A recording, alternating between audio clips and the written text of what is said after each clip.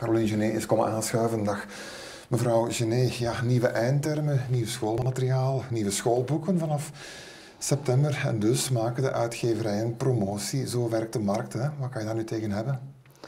Ja, ik vind het spijtig dat uh, in de schoolboekenmarkt nu ook de winst primeert op het belang van de leerkrachten, de leerlingen en de scholen.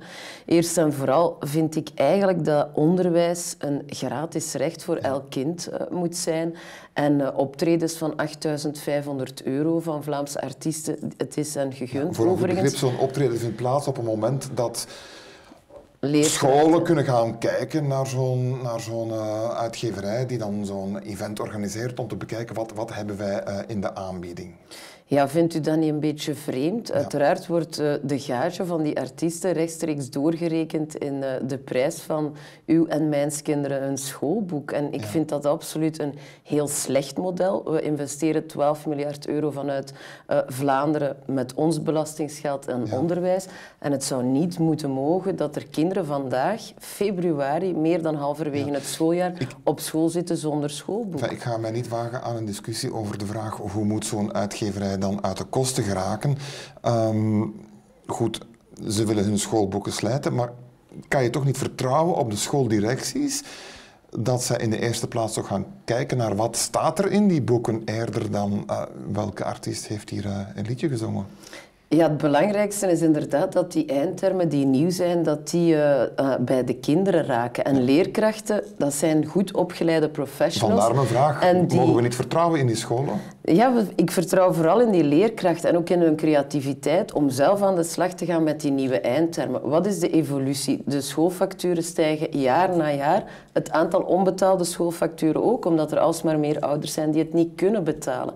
En dan moet het toch uh, belangrijk zijn, of kunnen, dat schooldirecties proberen aan kostenbeheersing te doen. Maar wat zie je? Een andere evolutie. Je ziet dat die, uh, het, het schoolmateriaal wordt uitbesteed aan uitgeverijen en dat ouders ouders maar hun plan moeten zien te trekken met de facturen. Hoor en ik u zeggen, de scholen moeten zelf hun lesmateriaal ontwikkelen, zelf cursussen schrijven, zelf handboeken maken en dat niet uitbesteden aan een privéuitgeverij? Ik denk dat dat in veel gevallen wenselijk is. En ook veel leerkrachten vragen daarnaar om dat te kunnen samenwerken, ook over de vakken heen bijvoorbeeld. Um, wat zie je nu ook dat soms... En moet de overheid sturend werken dan? Dat ik... bijna verplichten misschien? Nou, verplichten zou ik nu niet zeggen, maar ik vind wel dat de overheid moet uh, een kader bieden en ook leerkrachten ondersteuning bieden om dat lesmateriaal uit te werken. Dat kan perfect, uh, dat is ook net overschrijdend mogelijk, dat, uh, dat zou evident moeten zijn, want de overheid bepaalt de eindtermen. Dus de overheid kan ook de leerkrachten helpen in ondersteuning voor het ontwikkelen van het lesmateriaal.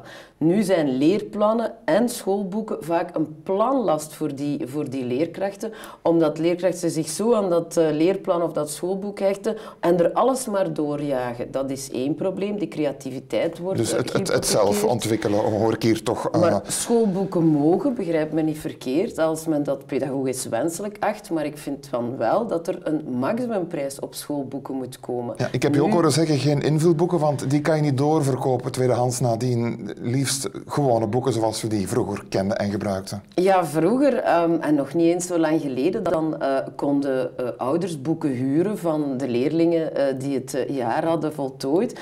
dan kon je ook gespreid betalen. Um, dan was dat allemaal een zaak tussen school en ouders.